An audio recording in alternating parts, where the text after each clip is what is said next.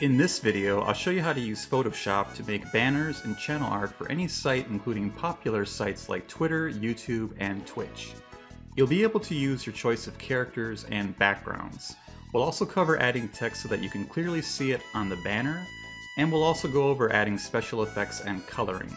I'll make a few banners with these sites in mind so you can follow along and learn how to create one of your own for whatever site you want.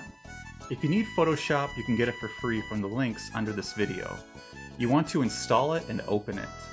You'll also want to gather pics for your banner to represent your profile, channel, Twitter, or whatever. For those last two, what I mean is if you're going to use anime and game characters, I recommend also searching for backgrounds without people on them, like this, to put behind the character renders like this. There's thousands of backgrounds and renders online, and we'll use some in this video with streamers and gamers and reviewers in mind. First open up Photoshop and make sure Layer and Tool windows are open under the Windows tab. They need to be checked. Make a new canvas and set the size of the banner you want to make. It's best to make a separate banner for each site because they all use different sizes. For example, right now, these are the current sizes of YouTube and Twitter and Twitch banners, and you enter these dimensions when you make your canvas in Photoshop. But first, if you don't know what size a banner needs to be for a site and Google doesn't help you, try right-clicking a banner on the site and choosing Inspect and click the upper left tool in Inspect Element. Then hover over the banner to find its size. This works sometimes, but not always and here's the size of this layout banner found with the same tool.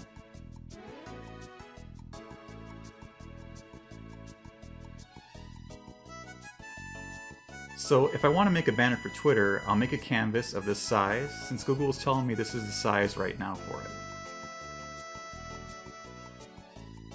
Now we can add some images by dragging them right onto the canvas. We could start with this Overwatch screenshot on our Twitter canvas to show we like and also play as D.Va from Overwatch.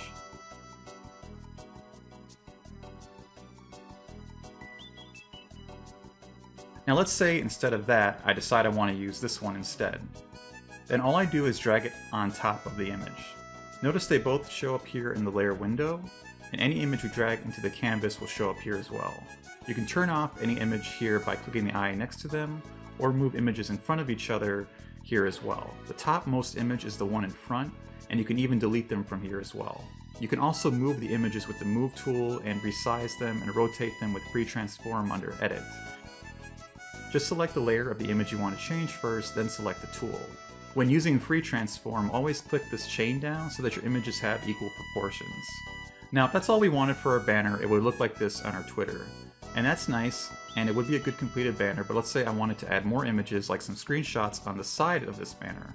I could drag in some more images the normal way, but it will look better and give us more options if we use the shape tool and make a shape over the original image on the side where we want the next pic.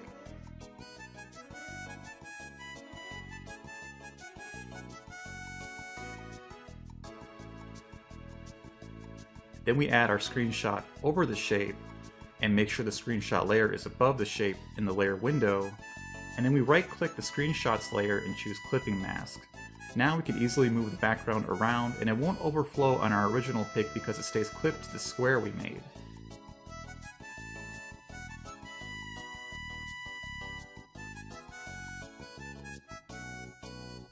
I'll do the same with the right side. Now we have a nice D.Va banner with two of my screenshots on the side. I used game characters and screenshots, but you can use screenshot from another game or any other wallpaper or background or characters or series that you want. And you can also add real photos and other images on top of the banner where you want, it's up to you. And later on, we'll add text and some effects to our banners, but I want to make a few more banners to demonstrate other techniques and sites. Now before we dragged in wallpaper and screenshots, but we could instead add a background on a Twitter canvas without people on it, and then add a render on top.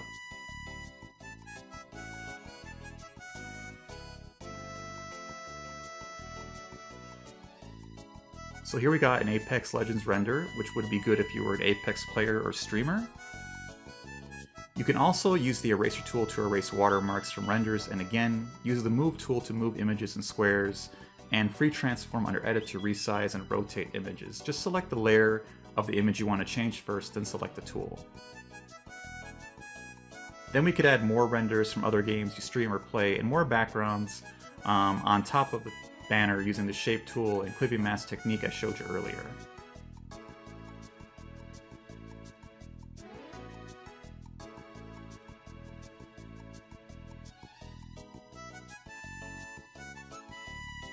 When you're done adding images, it's very important to make sure all the image layers are above the correct squares in the layer window, and all using the clipping mask so they clip to the square underneath them.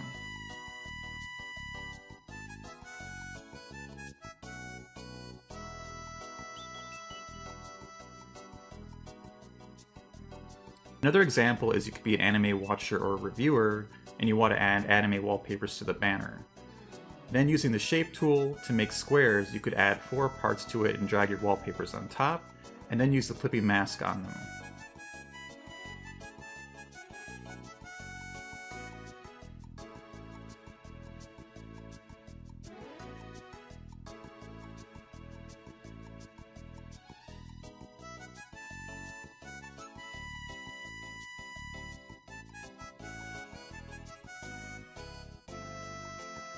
Now I've made banners for Twitter so far, but there's an important note when it comes to making YouTube banners, or as they call it, channel art. YouTube wants really big channel art for TVs, but on mobile and PCs and laptops, it only shows a small portion of that channel art, which you can somewhat zoom in on. So I suggest for YouTube channel art, rather than dragging in a wallpaper or screenshot, you add a large background to your canvas without people on it, and then you add a render for the character you like near the middle, or use other pics that represent you near the middle. This way, you'll fill the entire channel art on TVs nicely, but also have something for the zoomed in part seen on most devices.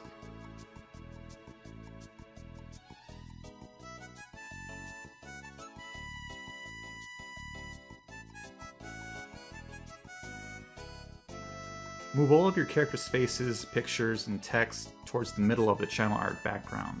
It's easier to pinpoint where the center is by using guidelines as well, like I am here. Remember, these are just examples for you to learn and copy from if you like. You can choose whatever shapes and whatever images and arrangement you want for the perfect banner.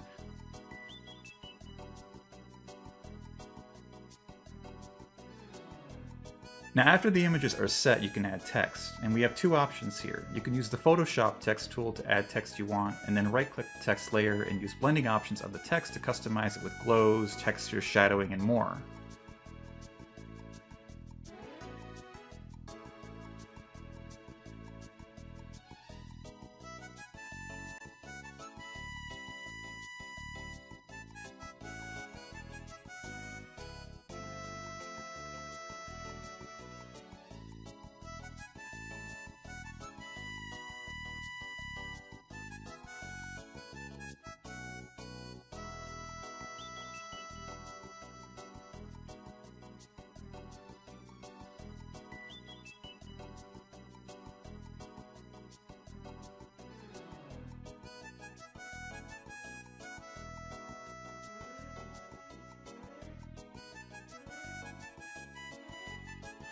And remember to keep text towards the middle for YouTube banners and for Twitter, keep text a little away from the edges, as I do here, since they cut off the edge of your banner even when it's the recommended size.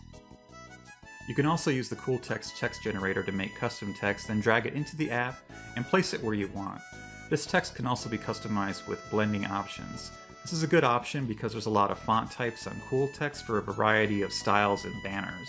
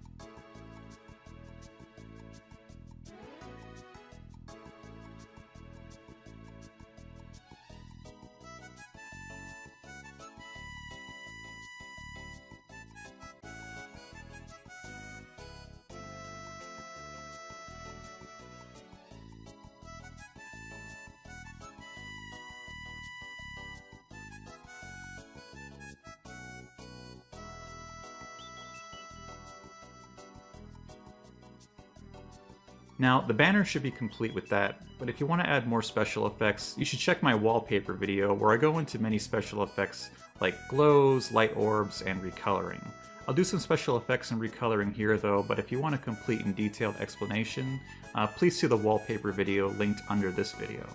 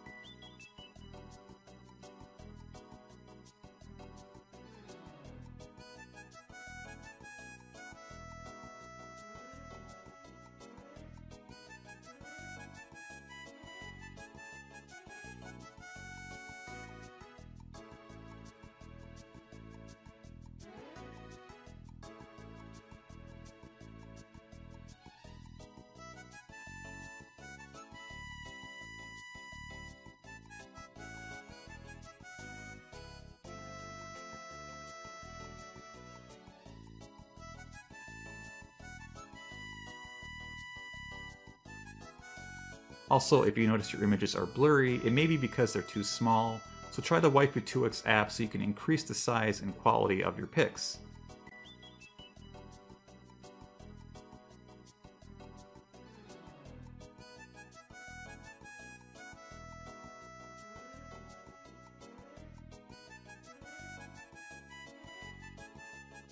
When you're ready to save your work and export your banner, save it as a PSD to save the project so you can work on it later.